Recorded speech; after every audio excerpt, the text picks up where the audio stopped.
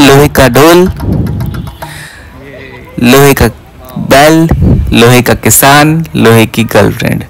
Friends, ये है भोपाल का चिनार पार्क आज हम यहाँ आए हैं भोपाल के चिनार पार्क में, जहाँ पर बहुत से अच्छी कलाकृतियाँ बनी हुई हैं लोहे की, जिसको आप देखेंगे तो देखते ही रह जाएँगे।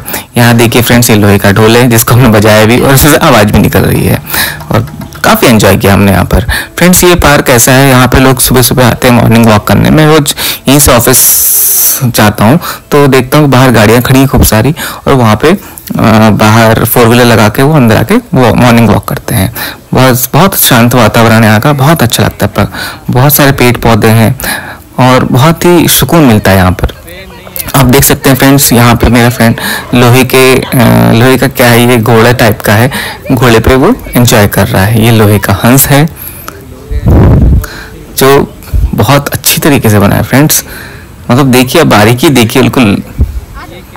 मतलब बहुत अच्छा अभी तो थोड़ा इसमें क्या पेंट वेंट उखड़ने लगा है। जब ये नया बना होगा तो कितना अच्छा लगता होगा। चलिए फ्रेंड्स फिर भी बढ़िया लग रहा है। अब आगे बढ़ेंगे ये पेंगुइन बने फ्रेंड्स लोहे के वाह कितने क्यूट लग रहे हैं फ्रेंड्स ये पेंगुइन मतलब ये जो कबाड़ का लोहा होता है ना, कबाड़ी होता है, उससे बनाया गया, जो वेस्ट हो जाते हैं, उनसे बनाया गया। मतलब उसका यूज़ किया गया है प्रॉपर देखिए फ्रेंड्स लोहे का बैल बनाया गया है, लोहे का किसान बनाया गया है, और उसकी वाइफ भी है साथ में। फ्रेंड्स ये मेरी फैमिली है। फ्रेंड्स हम अभी यहाँ पे आए हैं घूमने के लिए।